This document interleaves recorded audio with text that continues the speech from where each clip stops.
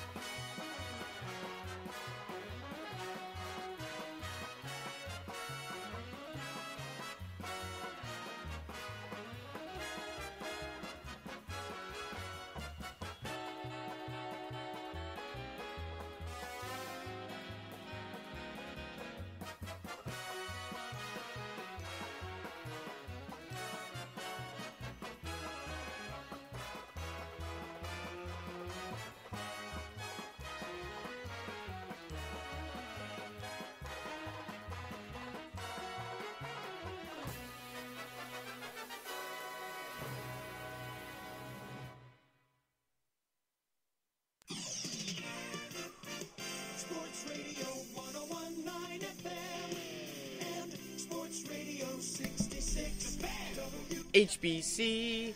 Well, it is a good evening to you and how you be. William Haynes here, you there, here on this Wednesday night at 10:35 with 19 seconds to go right along with it. We are talking tonight's 9 to 5 Rays win over the Boston Red Sox, of course. The Rays advance to 11 and 8. The Red Sox dropped to 6 in 12. The Rays riding a nice little win streak. The offense continues to be hot. There was a little bit of a hiccup late with uh, a relief pitcher just trying to get innings and Aaron Slegers. We'll tell you all about that. Also, Kittredge has gone on the 45 day injury list with a UCL sprains. Hopefully, no Tommy John surgery for him, uh, but he's going to miss some time, you would assume, the rest of the season after saving uh, what would have been uh, Monday night's game and opening Tuesday's game. And if you're listening, just tuning in now, I wanted to let you know that you can call the William Haynes Show at 352 639 0036 at WHBC Stream is the Twitter if you want to give us some thoughts on there as well. Again, we'll be taking your calls up until 11:30 one hour program here. We're keeping it nice and tight. Again the phone number to call is 352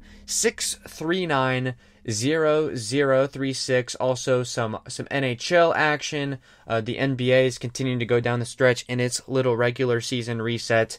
I'm not going to quite get into the inning by inning breakdown of the game. I want to let the listeners uh, continue to flow in here and maybe take some calls here early in the program. We had some calls last night and we thank you to everyone that listened.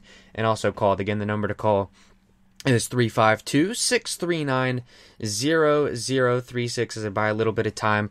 Uh, we're not going to hit it at 1040, but about, and we do have a call coming in right now.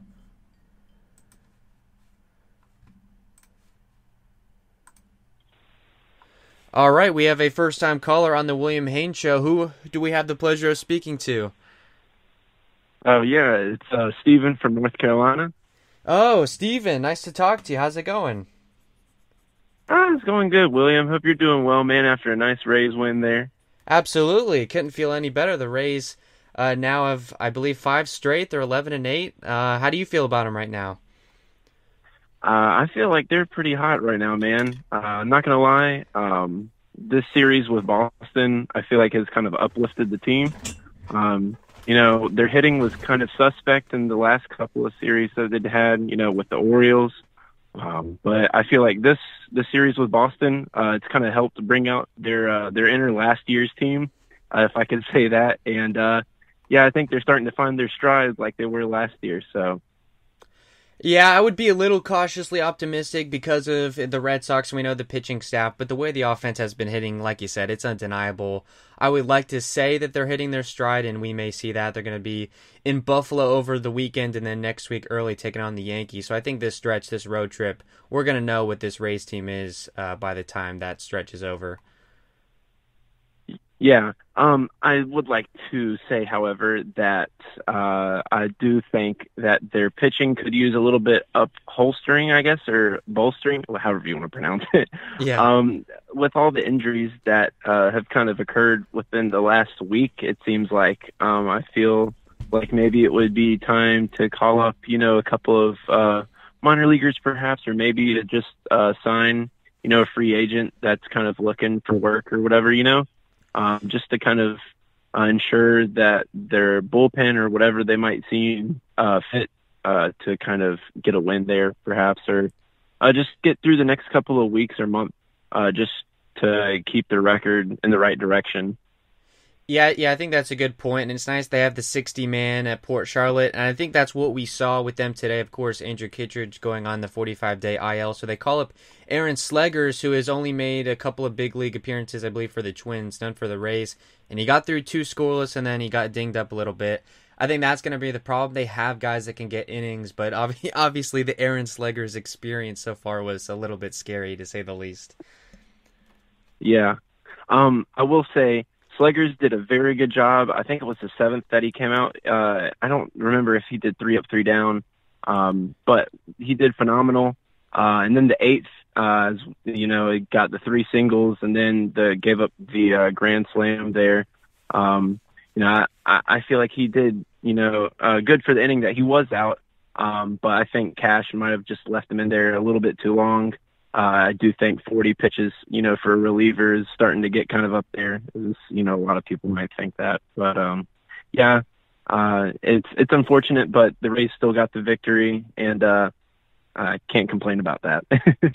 Absolutely, yeah. Aaron Slegers getting a scoreless sixth and seventh, and he comes out to start the eighth. And again, yeah, you can't crush him too much, like you said. It was a lot of slow rolling singles. It was a the the first hit that got it started maybe could have been recorded as an out. So a pit, you, you know, you can't give Slegers all the blame. But yeah, the the grand slam to JD Martinez, and I think all us Rays fans were getting a little nervous. They said before the game that he Yeah. was ready to go four or five innings. So he had that length, I guess, built up in Port Charlotte. But I mean, a guy like that, yeah, two innings, I think they should have capped him off there. I, I think you're right. Yeah. Um, I will, however, give props to Boston. Uh, tonight, uh, Pillar seemed like he couldn't not hit a, a baseball there. Um, and a lot of uh, their lineup, um, I can't remember their names for sure, um, but uh, Pillar seemed to do really well. Um, seems like Boston has a couple of good hitters on the team, but the rest of the team's kind of uh, lacking in that department uh, per se. Um, but I do want to give props to the Rays also, however. Um, the entire roster seemed to get a hit tonight, which was excellent. Um, but like you mentioned, uh, Boston's uh, pitching staff and and just the overall kind of department of pitching, I guess, isn't the greatest right now for them. So, um, but you know, give and take a couple of hits, and uh, I think they're happy at the end of the day there. Absolutely, a win is a win, and hopefully uh, the Blue Jays up in Buffalo, their pitching staff uh, isn't the greatest either. So hopefully they can keep that going. Thank you so much, Stephen, for the call. It was a great call. Please feel free to call back anytime. It was so nice to finally have you on the program. Of course, William. Thanks for uh, thanks for taking me, man, and I'll uh, get back on the line there to listen to you there. All right, it was a pleasure. Thanks a lot. Thanks. And there he goes, Stephen from North Carolina. Again, Stephen, thank you so much for the call. We appreciate everyone that has called into the William Haynes Show the last couple of days. And if you're listening and thinking that you would like to do more of the same, the phone number to call is 352 639 0036. We'll be taking your calls uh, right up until about 11:30. We'll take an, a, break in about uh, 18 minutes or so. Give you some baseball scores tonight. A lot of MLB action. The standings are finally kind of getting themselves set as we are uh, getting to about, I believe, a third of the way through the season at this point. Some teams have played more games than others. The Rays, I believe, tomorrow will have, they will have played their 20th game and they'll be officially a third way through the season. But of course, we have teams like the St. Louis Cardinals who have played five games, uh, the Marlins who have some games to make up. It's a little bit different for everyone, but we're we're coming down that stretch, and the Rays that that had a, a rough open to the season. Um, I think finally getting their footing, as Dave Wills and Andy Andy Freed mentioned on the broadcast. Uh, this this team hasn't necessarily hit its stride again, and I, and I mentioned this already on the show. Let's not get ahead of ourselves. It is only Boston. We identified that this was the weakness of that ball club going into this season, but a win is a win. Nine runs is nine runs. They had eight runs in both of the last two games. So the offense is red hot. Again, the lineup was absolutely fantastic. It was Austin Meadows leading off. He goes two for four with a walk. Also knocks in a run. I believe it was a solo home run, his first homer of the season. Four home runs in total for the Rays. Uh, they beat up the starter Zack Godley, who only got through three innings, eight earned runs on ten hits. Uh, you look further down the lineup, it was Brandon Lowe who's now batting uh, right over 300. He goes three for five today, scores three runs, knocks in two. So he's an asset um, at the top of that order for sure. Against the right-handed starting pitcher, they go heavy lefty, and it works out. Yandy Diaz goes three for five with a run knocked in. So you think he's really hitting his stride? Not not really a lot of power off the bat from him yet. We've yet to see a home run, yet to see a lot of powerful line drives. Uh, but I think he might be coming into his own, seeing the baseball a little bit better. He's been taking a lot of pitches, but as I mentioned last night, if he can take the bat off the shoulder a little bit more and be aggressive, and again three for five tonight, uh, that's certainly good. The top of the order. And then we had Ji-Man Choi going one for four, a walk, and he scored a run as well. Joey Wendle went, went one for five, knocked in a run, struck out twice. And then Yoshi Tsutsugo, one for four. It was a two run homer, uh, which was his, uh, I believe it was a, a, solo shot. The, the run knocked in, I think, was on, on a ground ground ball. But Yoshi Tsutsugo getting his second home run of the season, the first since opening night against the Blue Jays, which at this point is about uh, uh, two and a half, three weeks ago. And it's something us Rays fans have been talking a lot about. He's batting only 160, uh, coming over from Japan. I believe we talked about this with Seth uh, last night. Is you know the, the question really has become: Is he just a guy that is good enough to be an MVP level in the Japan League, and you know may not be able to catch up to Major League pitching? Uh, Seth mentioned to me that he had uh, seen more pitches than almost any other batter. Um, so you like what you see from there. Obviously, uh, he's a good ball player. He also had a very, very tremendous play, a nice diving catch in left field. That was also a concern. Was is Yoshi a guy that you're going to have to DH? Can he play the field? A little iffy at third base, but so is Yandy Diaz. A nice platoon at third over there.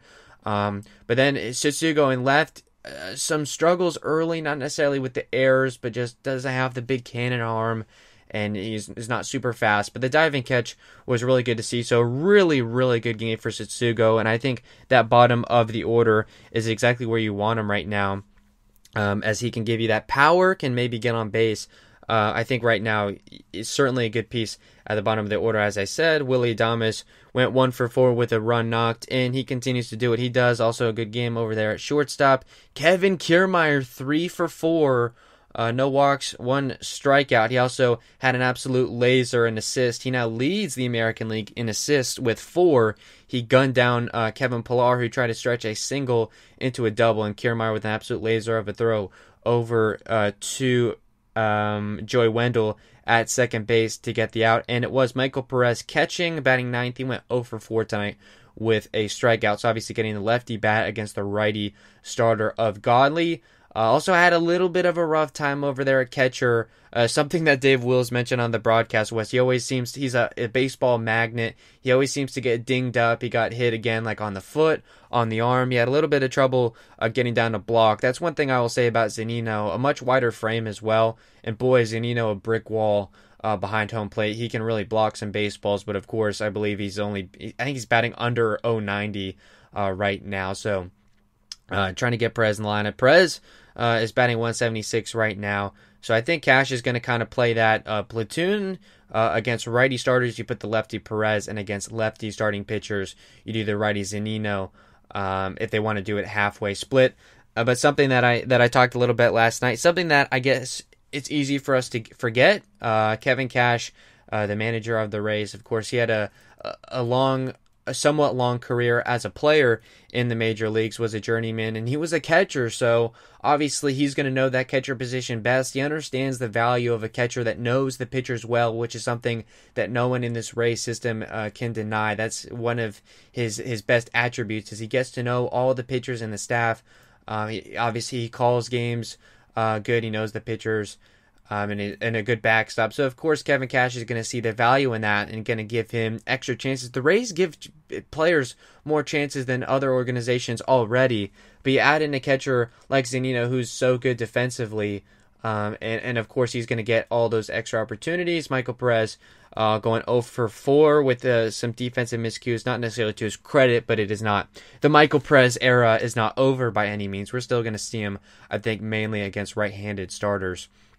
Um, so uh, that that was the lineup again. It was Meadows, Lowe, Diaz, followed by uh, it was Choi, Wendle, Tsutsugo, and at the bottom it was Adames, Kiermaier, and Perez. Having a bit of a difficult time reading the stat sheet there. If you're just t- tuning into the program, uh, you can call the, the William Haynes Show, get on the air live, and talk to me at 352 639 0036. We've already had a caller, and we thank uh, Steven for giving us a call. A lot of good thoughts from him, as I'm sure a lot of you other Rays fans have some great thoughts as well. So please give me a call 352 639 0036, about 10 minutes away from the break. So, uh, with all that being said, also, uh, as we'll, we'll continue to talk about this Rays game and take your calls up until uh, 11:30. Uh, the de- defensive alignment for the Rays, it was Austin Meadows DHing, which was nice to kind of get him eased back, giving him a nice half day off, is what they say in the biz. It was Brandon Lowe in right field. Uh, Yandy Diaz at third, Choi playing first base, Wendle at second, Yoshi in left, Adames at short, Kiermaier in center, and of course Michael Perez catching. So that's the way uh, the defense lined up, inning by inning breakdown. And again, please feel free. I got a couple of messages yesterday. When was the right time to call in? Anytime. Please feel free to interrupt me. I am totally good. 352 639 0036 is the number to call. We go to the top of the first inning, and this this is where things already got started off. It was uh, Meadows. He had a decent at bat, saw about five pitches, and flew out to center. It was pretty deep out toward the triangle. Brandon Lowe hits a single, and then Yandy Diaz gets on base. It was a funky play where the baseball, I, I, I, believe, bounced off the first base bag. So he gets on, and it's first and third there with one out. Choi then walks to load the bases, and it was Joey Wendle who comes up to the plate, and you think, oh, maybe you get a base hit. Uh, drive in two. No, it was a weak ground ball that could have easily been turned uh, for two, and that would have ended. I would have ended the inning and no runs.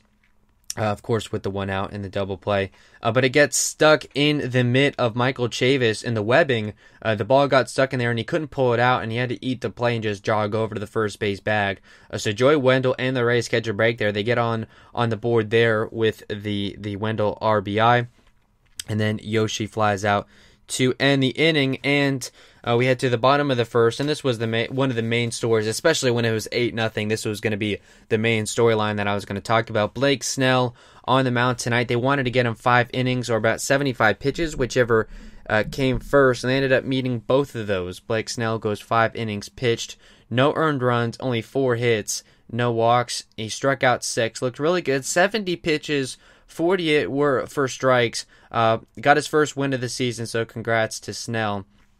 Um, look good. The fastball is working, and he, the off speed stuff is running really good. Again, he struck out a lot of prominent Yankees hitters in his last start and doing more of the same against Boston tonight. Uh, you think 70 pitches, it might take him a couple more starts to get fully stretched out, but that efficiency, 70 pitches, getting him five innings is good. And obviously, once he's fully stretched out, if you can give him that efficiency, I mean, heck, you're going maybe six or seven innings into a ball game, which the way the bullpen is right now, and uh, Steven mentioned that a, a few minutes ago. They're going to have to be creative with the bullpen. They're going to have to call some guys up, some unproven minor leaguers, maybe some free agent signings just to fill holes. Again, Andrew Kittredge on the 45 day injury list with a, a, a sprain in his right UCL. If you're unfamiliar with that, it's a ligament in the elbow, and that's what the Tommy John surgery repairs when the UCL is torn. Thankfully, Kit, uh, the diagnosis right now is that it was just a sprain, but he's going to miss some significant time. And of course, with a 45 day IL, you assume that's the remainder of the season. He closed out uh, Monday night's win and started um, uh, the next day. And I mean, it's easy to point to that's why he had pitched a, a, couple back to backs with only one day in between going into that. So he had been taxed. Uh, to Kevin Cash's credit, I think he was trying to. Andrew Kittredge has not been a great pitcher for the Rays by any means, and Kit had really found a groove. And I think Kevin Cash just wanted to ride that momentum and keep Kittredge's confidence up and, and kind of keep him rolling. And of course, with the way the bullpen has been at times this year, if you have a guy that's rolling, stick with him. And I, I'm not gonna I'm not gonna slam him uh, because we're not doctors. We don't know if that if the stress was what caused it. I saw a, a piece. There was a piece that was brought up on the uh, Atlantic about eight years ago about a certain style of pitching, uh, and and that is the way Kittredge pitches. He throws the elbows kind of up in the air like a in a W shape, and that's what they're saying is, is really bad for the elbow. So that that could be a part of it. There, I mean, there's a, a myriad of factors, but bottom line. Uh, Andrew Kittredge is out. They called up Aaron Slegers, who went two innings pitched, but we'll tell you about that uh, a little bit later. So, where we are in the bottom of the first, it was a leadoff single uh, for Kevin Pillar. He went four for five tonight. Very nice uh, leadoff hitting performance for him. Um, and Blake Snell, 10 pitches, and he didn't record an out. You're thinking, oh boy, here we go again. The bullpen is already taxed uh, to its limits. How much far? How much more of this game can we play? Uh, but then he settles down, gets a double play ball, and easily gets out of the inning. Only throws four more pitches. Uh, so 14 pitches in the first inning. We go to the top of the second. Was Adames leading it off. His first home run of the year, and it's 2 nothing Rays. So that was good to see for Willie have some pop at the bottom of the order. Goes 1 for 4 tonight um, with that solo home run. He's now batting 255, which is right around where he was last year. He's on base is 345. So you like what he's doing. He's playing better defense at shortstop. So I think uh, he's a valuable asset to the Rays right now. Uh, of course, and then Kiermaier and Perez both strike out.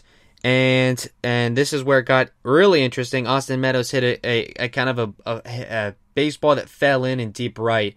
Uh, really should have been caught. I believe it was um, Kevin Pillar came in from right, and then uh, Jackie Bradley Jr. in center. They kind of got mixed up, and the ball kind of plopped in. You're thinking, oh man, on first two outs, uh, maybe that that was just a fluke, and they'll get out of the inning. No, Brandon Lowe gives up uh, or I'm sorry, Brandon Lowe hits a two-run homer. That was his fourth of the year, also his 13th run batted in. He leads the Rays in both of those categories right now. Uh, so then all of a sudden that made it a four nothing Rays, I believe. Yeah. So all of a sudden, yeah, the ball game is getting out of reach. Godley uh, had already thrown 40 pitches at that point. The Rays were really making him work, and then that the the inning ended shortly thereafter. Um, there was not much that happened in the bottom of the second. There was a cross up um, on a two out play with Snell and Perez. I'm not sure who was at fault, um, but that there was. Uh, Yandy Diaz uh, could have made a play to get an out, but it ends up being a single.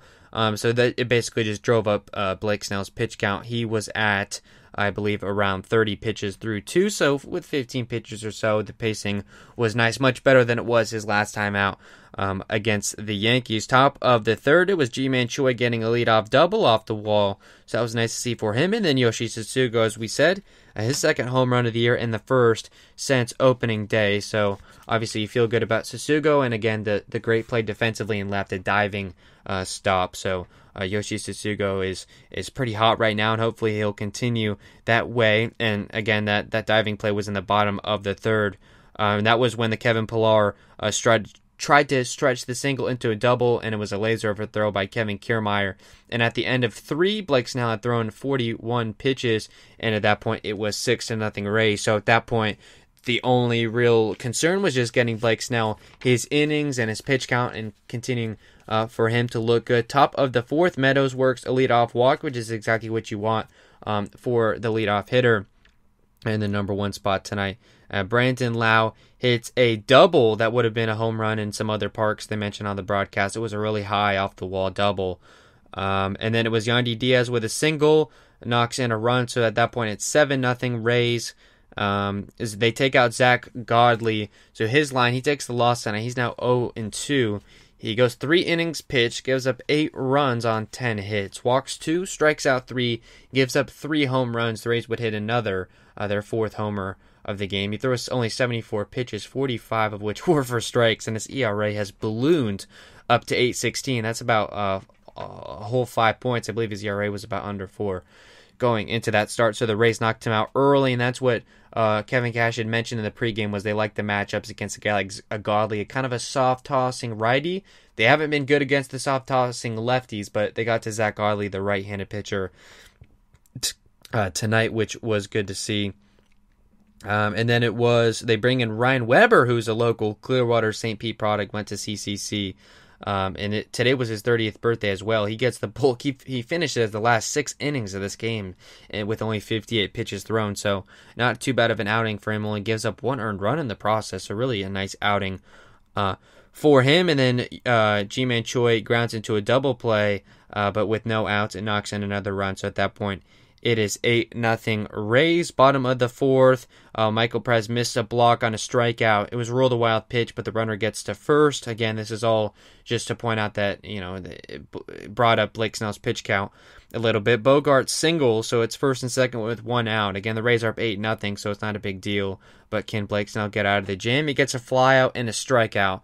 Uh, only got out of the inning with again 19 pitches, which was good. He had 55 pitches at that point through four. So again, the pacing was still good. Top of the fifth, it was the first scoreless inning of the night for the Rays. They go down easy. That was when Ryan Weber was getting into his groove. I'll just give you Weber's line here before we head to a break. Weber goes six innings pitch, gives up five hits, uh, just an earned run, no walks, four strikeouts, and gave up.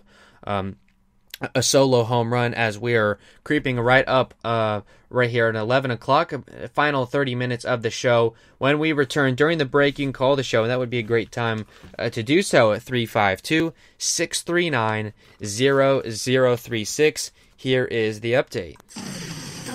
Hbc Several MLB games that have already gone final, the first of which the Cubs 72 over the Indians. In uh, Anaheim, it's the Athletics 8 to 4 over the Angels. The Diamondbacks winning 13 to 7 over the Rockies, first place NOS Rockies by the way. Also final the White Sox 7 to 5 over the Tigers, of course Rays 9 to 5 over the Red Sox. The Mets win 11 to 6 with an, over the Nationals using an opener. The Twins 12 to 2 over the Brewers. The Astros final 5 to 1 over the Giants. The Orioles win 5 to 4 over the Phillies. Uh, the Royals have a 5 to 4 win over the Reds in some games currently in action in the top of bottom of the 10th. It is the Marlins up 14 to 11 on the Blue Jays. In Buffalo in the bottom of the 8th, it is the Yankees 6, Braves 3. Uh, bottom of the 6th, Mariners up 4 0 on the Rangers. And in the 5th, it is the Padres and Dodgers scoreless. Don't go anywhere. Hey, sports fans! William's currently in the can, but he'll be right back. We're currently on a commercial break, so don't touch that dial. Remember, you can call us at 352 639 0036 or drop us a line on Twitter at WHBC Stream to tell us what's on your mind. We want to talk sports. We want to get unruly. We want you to tell us what you think so we can argue. Anyway, when all that's said and done, please stay tuned for Williams' world famous Around the XFL podcast and other projects that he's currently got in the works. Please visit WHBCStream.com and thanks again for listening in.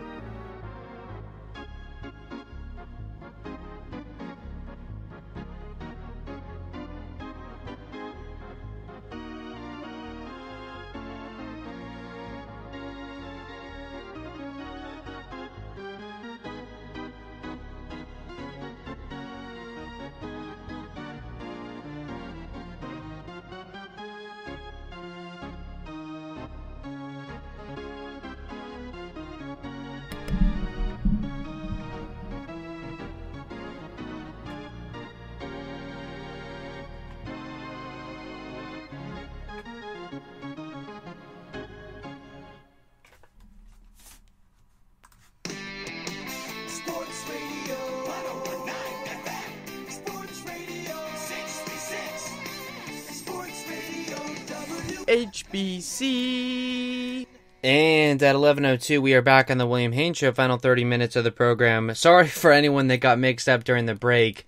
Uh, the the audio I just found out went dead. Instead of turning off, instead of muting the microphone on the computer to avoid the annoying mouse click, I just hit the mute button on the on the mic. But little did I know that muting the microphone would mute also uh, the commercial music. So uh, no, we did not go away. We are still on the air, taking your calls uh, for about another 27 minutes. Uh, the number to call again 352 639 0036. We would love nothing more uh, than to hear from you. We also have um, an interview that we did with NHL correspondent Aaron. We'll give you that after we finish up the Rays game. So definitely make sure to give us a call um, here shortly. Again, the number to call 352 639 0036 as we return talking about the Rays game when we went on break. The Rays were up 8 to nothing and Snell had gotten through 3 um, with relative ease. Actually, had gotten through 4 um, excuse me. So uh, top of the fifth, it was uh, the first scoreless inning of the night for the Rays, and then the bottom of the fifth, it was a one two three inning. Um, or I'm sorry, I got it. I got it all mixed up. Bottom of the seventh is one two three inning for Snell, and um, that put him at 70 pitches. Top of the sixth, the Rays go down in order one two three again. Again, Weber had worked into a nice groove, and bottom of the sixth, this was um, when they take out Blake Snell. Again, the line. He goes five innings pitched, no earned runs on four hits, no walks, six strikeouts, 70 pitches, 48 strikes. So they take him out. They bring in Aaron Slegers. Slegers, um, the man that was brought up to the big league club um, by, with the room that was made by uh, Andrew Kittredge being sent to the injured list. Slegers we were told was ready to go about four or five innings. He was stretched out. Um, a little bit about Slegers that I found out. Uh, he was pitched for the Twins in the big leagues from 17 to 18. And he was traded to the Rays during the 19 season, but did uh, he never reached the big leagues for the Rays? Uh, just some minor league appearances in the big leagues. Going into tonight, he was one and two with a 5.63 ERA, and he had only struck out 15 batters. Uh, but the Rays are up 8 nothing. What's the worst that can happen? You just need bulk innings, and he gave them two tonight. Um, when he first comes in, uh, also of note, uh, his dad was is seven feet tall. Slegers himself is six foot ten. So if there's any organization that would help him develop, it would be uh, the Rays, of course, we know from Tyler Glasnow, I believe, is also six foot ten. Kyle Snyder, the pitching coach, is I believe that height height as well. So if there's anyone that knows how to groom these tall pitchers, again, things get a little weird with the mechanics and everything. Uh, Slegers does not has have the fastball that that Glasnow does, but but you get the point. Um, he comes in. Slegers gets a leadoff single, so not, that's not great for the confidence. Devers a fielder's choice, and then he gets a ground out and then another out to end the inning. So no harm done. And we go to the top of the seventh. It was a one, two, three inning um, with a double play. And then in the bottom of the seventh, it was Slegers getting a, another one, two, three inning. Just checking the audio there. I wanted to make sure uh, that everything was okay with that. I believe we are still doing okay um, as far as the audio goes. We have uh, people saying that it's out. So, uh, as far as I know, the audio should be good to go. Um, I'll check that uh, during the next break in about 15 minutes or so. We'll give you uh, the hockey scores. Uh, today, so but at, at the end of seven, it was eight nothing Rays. Blake Snell had given them five clean. Slegers had been rolling with two. In the, the eighth inning, the Rays go down in order again. One, two, three. Weber again, a really nice groove he worked himself into. And the bottom of the eighth inning was when things got very, very interesting. It was three straight singles to load the bases, a lot of, of, of weakly hit kind of ground balls, but they got through the hole. It was an RBI single that made it eight to one or eight to one, yeah. And then it was JD Martinez blasting a grand slam, and before you know it, it was eight to five. So a whole new ball, a whole new ball game. Uh, the approach to everything totally changes. An infield single, um, which was uh, the sixth hit, sixth straight hit in the inning. So the Rays uh, kind of delay things, take Slegers out. They bring in Nick Anderson. Uh, Aaron Slegers, his line finishes with two innings pitched. Gives up five earned runs on seven hits, a strikeout, and again that home run. 47 pitches, 35 are for strikes, and in his first big league appearance of the year, he now has a 22.50 ERA. Uh, but as we said uh, with Steven on the call there, it was a good um, first two innings, and even though we it was advertised that he was ready to go four or five, I think two uh, was where the Rays should have drawn the line. Again, trying to just work him into the big leagues. This is not Port Charlotte against minor leaguers. I, I think some some other pitchers that the Rays have brought up this year have kind of struggled with the same thing. Although uh, John Curtis uh, pitched pretty well in his couple of outings, so um, who knows? So they take out Slegers, put Anderson in. The situation is one on with nobody out. It was an eight to five ball game. So I mean, this is a safe situation. They bring in Anderson um, in the high leverage spot, um, and it was um, they they bring in Anderson. It was a Vazquez strikeout, a Chavis strikeout, Verdugo singles, which brings the tying run to the plate in Jackie Bradley Jr. and he gets JBJ to ground out. Um, so a couple of strikeouts. He looked really good. That's what Nick Anderson does is put out the flames. Um, so it, at, at the end of eight, it was eight to five Rays, and you think how are the Rays going to get a ninth inning? Uh, cleanly, the Red Sox were storming back. Top of the ninth inning, it was Austin Meadows hitting his first home run of the season that made it nine to five Rays. So really good sight uh, for him in the leadoff spot. He goes two for four, scores three times. One was on a walk and a, a, a run knocked in. On the solo shot, they get Yandy Diaz uh, on and they pinch run with him with Margot, but they can't get anything else uh, going in that inning.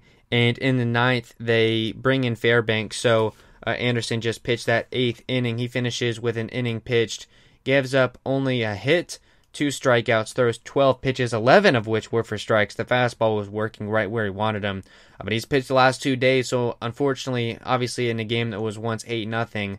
Uh, it was unfortunate that they had used Anderson, and that's really um, whatever the opposite of a silver lining is. If you want to pick out the negatives in a, in a good win, uh, it would be exactly that: is that they had to burn up Anderson, but thankfully they were able to get a clean ninth, not a safe situation, but a clean ninth from Peter Fairbanks, who comes in, gets Peraza to ground out. Pillar, who was four for four going into that at bat, uh, Fairbanks strikes him out, and then Arauz grounds out to first base uh, for a Rays win. Again, the Rays advance to 11 and 8 um, on the season. They win 9 to 5 over the Red Sox, drop Boston to 6 and 12. A couple of notes that I accumulated over the course of the game. They clinched the series, obviously, four home runs. It was the Rays' fifth straight win, the longest win streak of the season. They now three games over 500, which is the high water mark so far. Um, uh, they are four and one against Boston so far this year, and I believe the sixth straight win at Fenway Park dating back to last year, and it was uh, the Rays seven and one in Boston uh, a year ago, which was the most a team had won in, in Fenway in over, I believe, hundred years. It was like the 1915 uh, Orioles, if I'm not mistaken. Um, so here, um, the number to call if you want to talk anything Rays is 352-639-0036. Hopefully you can hear me. I've been told that I'm having some audio issues. Hopefully not. Um, that would be a shame if this whole thing, um, was all for naught. But as far as we know, uh, we should be on the air. And again, the number to call is 352 639 0036. We're actually going to take, um, actually, no, we're not going to take the break. We're going to give you the NHL report. Uh, this was something that was already pre recorded with NHL correspondent of the show, Aaron. And without further ado, all right, and on the William Haynes Show, we are joined by friend of the program, Aaron, who is the show's NHL correspondent. We thank you uh, joining the show today to talk some NHL hockey. Of course, a lot has gone on since this whole thing got started. Mainly the qualifying rounds. We weren't exactly accurate on our predictions, but then again, not not a lot of people were. Look at a series like um, maybe the Penguins and Canadiens. I mean, who who could have guessed Montreal was going to come through in that series? Like nobody. All the Um, professionals have. And also, as we look at the Eastern Conference, the Hurricanes and Rangers, we had the Rangers. I think a lot of people did. What was it for the Rangers that kept them from winning that series? They didn't look good. It was a three game sweep. Yeah, um, I wouldn't say goaltending was really the issue. Lundqvist played great in game one. wasn't as good in game two, but like the offense just wasn't there, Yeah, and wasn't goalie can't do everything on that. yeah, that's true. Defense didn't really help. Yeah, uh, for an offense that had been so great towards the end of the regular season, yeah, certainly. I mean, not that the Hurricanes, I guess, are a premier team, but they shut them down. The one that we did get right, the Islanders. Uh, the Panthers didn't look great on all phases. I think the Islanders are going to be a team to watch out for just because of how good their defense is and can shut down. Certainly not a team that you want to see probably the Lightning play. No, no, especially after how they played them in the regular season this year. They they don't play that kind of system too well. Yeah. Um, also in the East, there was a Maple Leafs and Blue Jackets series. That one just got kind of weird. The Leafs made it interesting towards the end, but ultimately it was Columbus coming through. And in the West, there's not a whole lot to talk about. I guess the main point is the Oilers fell to the 12 seed Blackhawks. Did anything stand out to you in that series?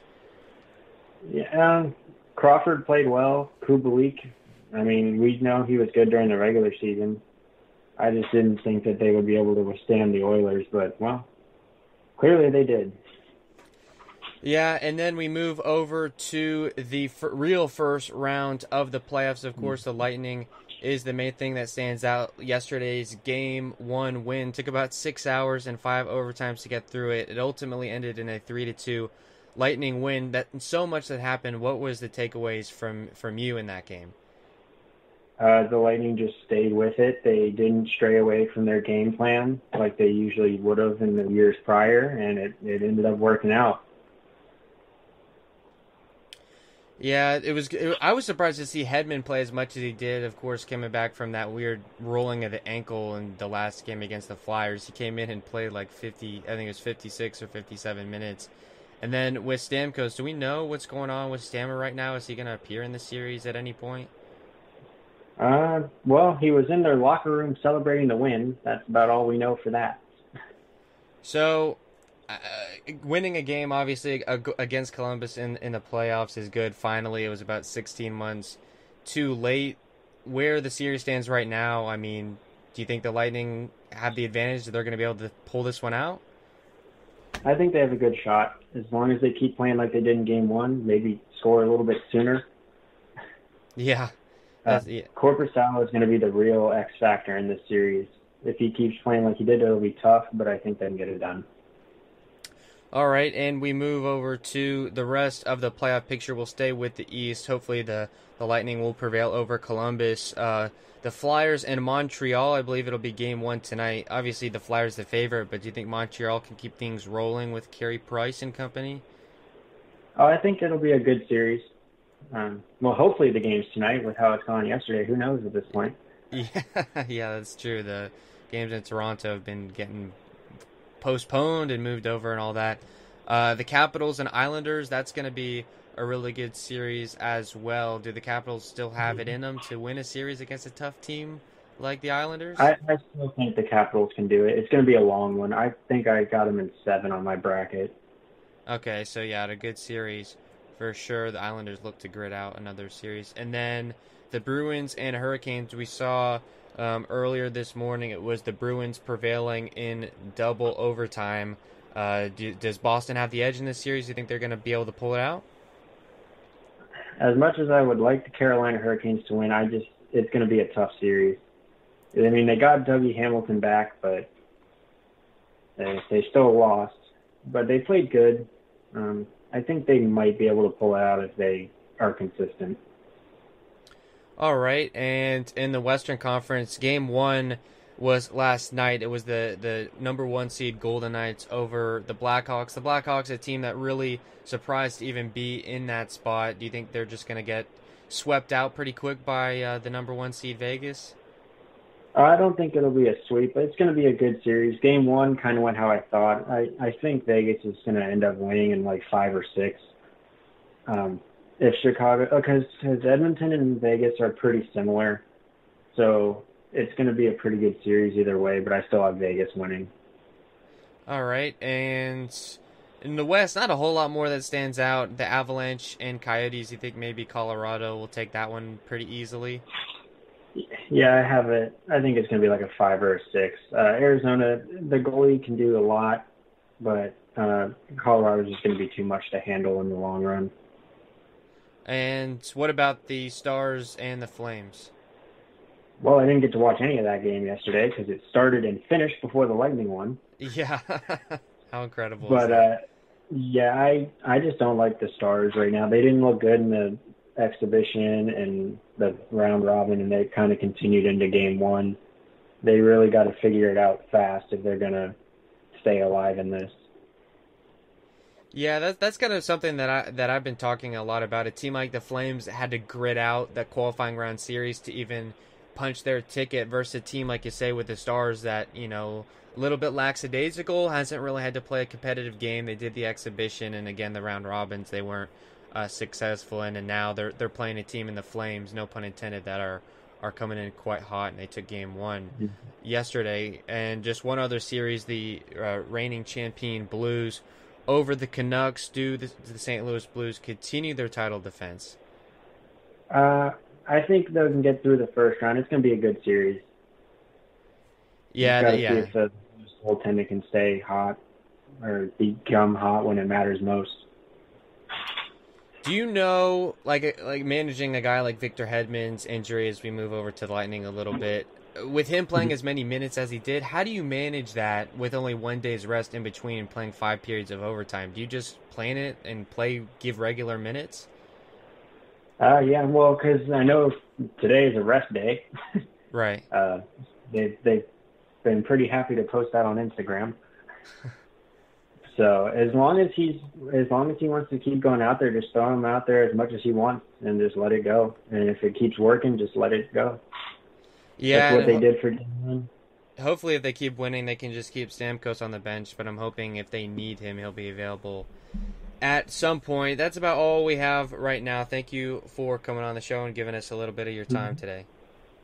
Yep, no problem.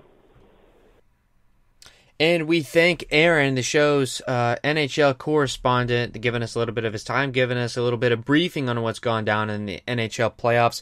And speaking of the NHL, we're going to head to another 2020 sports break, give you the hockey scores from today. And when we come back, final 10 minutes of the program, we would love to hear from you. Of course, if you're listening, the, the number to call during the break is 352 639 0036. HBC. Most of playoff hockey action has gone final. The Flyers with a 2 to 1 win over the Canadiens. They take game 1 and another game 1 the Avalanche 3 0 over the Coyotes. The Islanders 4 to 2 over the Capitals. Into overtimes, a game that had to be pushed to this morning because of last night's 5 overtime Lightning and Columbus game. It was the Bruins 4 to 3 over the Hurricanes. Again, that one went to double overtime in the only game currently in action with 4 minutes left in the first period. It is the Canucks up 1 0 on the reigning champion St. Louis Blues.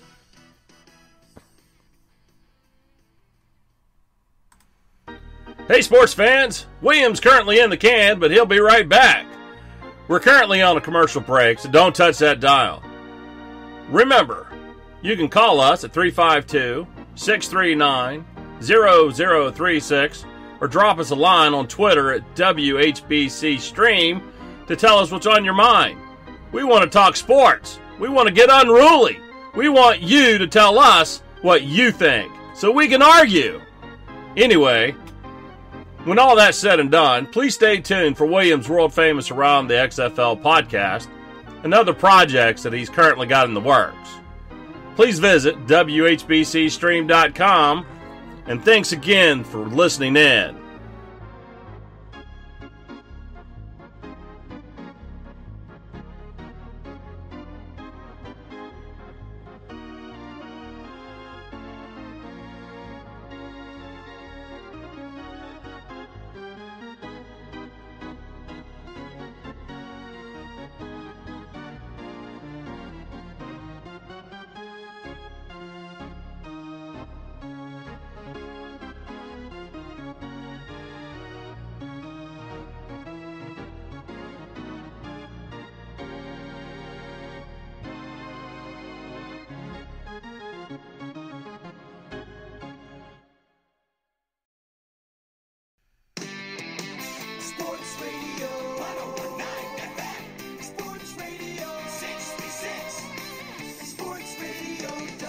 WHBC.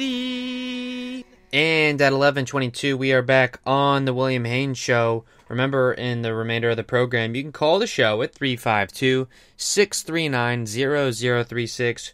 We would love uh, to hear from you. Hearing maybe that we've been having some audio issues, I'll look go back and uh, check that. Apologies, and well, I guess you you wouldn't be able to hear me if there was uh, some issues, but I guess we can wrap the show with uh, kind of previewing tomorrow's game. It will be uh, Tyler Glasnow, the um, a player making his first ever big league appearance, I believe, if I'm not mistaken.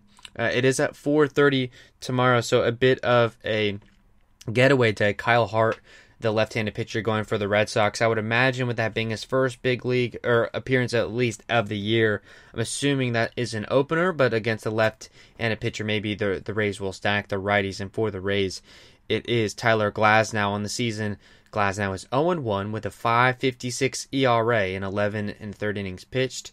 Uh, as we take a look at his uh, starts so far, first start of the year, he goes four innings pitched against the Braves, uh, four and two thirds against the Orioles, and in a doubleheader, seven inning doubleheader against the Yankees, it goes two and two thirds. Uh, we look at the pitch counts for those games respectively 72, 88, and 71. So uh, I'm thinking he's built up pretty full right now. That's at least the word. Um, so hopefully, getting six innings, five or six innings, is what I would expect um, out of Glasnow. Now, it is going to be difficult to see how they they run the lineup. I remember the last time against the opener a couple days ago. I think they they stacked. I believe the lefties because they have guys that can mix both. Usually against a left-handed starter, they'll go about seven righties and two lefties, um, and and invert that depending on which you know which pitcher um, it is. Kyle Hart. I don't know a lot about him. Of course, we don't have ESPN has absolutely nothing about him. Um, so maybe just a guy that's in there to get an inning or two. Would love to see the Rays get some more first inning runs as that set the tone tonight um, for a really nice game. And as far as uh, the bullpen is concerned, I'll take a look at guys the Rays might be able to use. Um, who I would expect Ryan Thompson should be good to go. Diego Castillo, um, Nick Anderson is on a back to back, so um, I would scratch him out uh, for tomorrow. Peter Fairbanks pitched tonight, but he's not on a back to back, so maybe we would see Fairbanks. Uh, Chaz Roe, Jalen Beeks could be available for a couple of innings. I would expect to see Jalen Beeks because it's been a while and you got to keep him uh, fresh. Uh, obviously, you you want to give guys days off, but it gets to a point where you you you, you need to give guys time uh, to get them some game action. Um, so I'd ex- expect to see a couple from Beeks. I was honestly anticipating that to follow Snell, but they go with uh, Aaron Slegers, who didn't exactly pan out, but I guess they wanted to get a look at him. They may end up, in all honesty, with how many options he's got left, probably send him down after this start. I haven't seen any word on that and trying to get up another pitcher. Uh, so Jalen Beeks probably to follow Glasnow. Trevor Richards pitched four innings on Sunday, so he's on three days rest. He could be a guy that could get an inning maybe. And then Aaron Loup and Jose Alvarado uh, are some other candidates. Uh, those are Alvarado was uh, his, day of rest today was coming off of a back to back, so you would think he might be ready to go. Um, so again, guys that could follow Glasnow, I would expect Beeks for one or two. So hopefully line it up. Maybe Glasnow gets you through five or six, um, and then Beeks maybe giving you one or two. So that, at that point you're in the seventh inning or so, and then you can line it up. Ryan Thompson, Diego Castillo, Aaron Loup, uh, Chaz Roe. They've got plenty of options. The bullpen I think is in decent uh, bit of shape. They'll get a day off on Monday. Uh, a programming update. I will be on the air tomorrow at 9 o'clock sharp. Of course, we're not going to be on right after the Rays game because uh, that'll probably get through at maybe 7 or 8 or so. Um, so we'll be on at 9 o'clock sharp. Um, and we will not be back on the air again after that until next Tuesday. We won't be on the air, of course, during the weekend or Friday or the following Monday. We are moving, packing up the WHBC studios about four hours north here, moving from Clearwater uh, to Tallahassee, the state capital. I'm starting my academic career at FSU. Um, so gonna move the studio up there. Gonna take s- some days off to get settled in, but we will be back on next Tuesday, uh, recapping hopefully a Rays win in the Bronx over the Yankees, as that'll be the first game um, of that series. So again, tomorrow we will be on the air at nine o'clock hopefully talking another Rays win over the Boston Red Sox. Final three minutes of the program. If we have anyone listening, uh, the number to call is 352 639 0036. Don't worry, we'll, we'll, we'll stay on a couple extra minutes for you. There's no concern about that. We'd love to hear your thoughts. We had Steven uh, from North Carolina call in uh, tonight, and we really appreciate his call. He was very nice. We had Seth uh, last night. So uh, really appreciate the calls, appreciate all the support of the people that have been listening to the program. It's really been a delight to be on the air uh, for about an hour or two each night after these Rays games. I've really had a blast doing it, and I've hoped that you enjoy. Um, listening in as I'm as I'm kind of ad libbing uh, for the final last couple minutes of the program, just allowing maybe some more phone calls uh, to flood in. We'll really take an in depth look uh, tomorrow, previewing all the games that we're gonna miss. Uh, but as it looks now, uh, tomorrow will be Tyler Glasnow uh, v. Uh, Hart of the Red Sox. And then after that, they go on the road up to Buffalo for a three-game set. Friday, Saturday, Sunday series with the Blue Jays. No set, set no set starter for the Rays on Friday. Imagine some sort of an opener day, as that was uh, that would have been um, Yonny Chirinos' spot. And on Friday, they'll be taking on Tanner Roark of the Blue Jays. On Saturday, it'll be Ryan Yarbrough v. Tanner Anderson. And on Sunday, no pitcher announced. That's uh, Charlie Morton's uh, spot against Matt Shoemaker. So they're going to have to string together probably a couple opener days, which is why it is so crucial for Glasnow start tomorrow and Ryan Yarbrough uh, his start on Saturday to really get some length. Both of those guys are fully stretched out. The only two of which that are that way in the rotation. Yonny Chirinos, uh, they expect back next Thursday off the IL when he's active. Um, no set starter as that is Chirinos' spot. I'm not sure they would want to have him first game back in the Bronx against the Yankees on Thursday, but he'll be activated, they expect. And then Charlie Morton, I believe, is only going to do the 10 days. He's not going to need a rehab assignment as they just wanted to give him a little bit of a rest.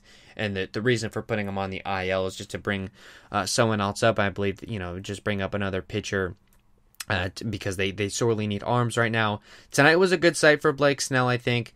Uh, they got five innings clean out of him at only 70 pitches. So uh, you, you like his progress, really getting stretched out. Three innings last start against the Yankees. Hopefully, in the next couple starts, he'll be fully stretched out and hopefully back to his former Cy Young form again. We'll be on the air tomorrow, 9 o'clock sharp. Thank you for everyone that listened and everyone that called in. Really had a blast uh, doing that tomorrow again. It is Tyler Glasnow, the uh, an opener day of sorts against the Red Sox. Relievers to maybe to go Thompson, Castillo, Loup, maybe Alvarado, and then Chaz Roe and Jalen Beek. So they have guys that they can line up. Um, so yeah, again, we'll be on there nine o'clock after the game, and we will see you then.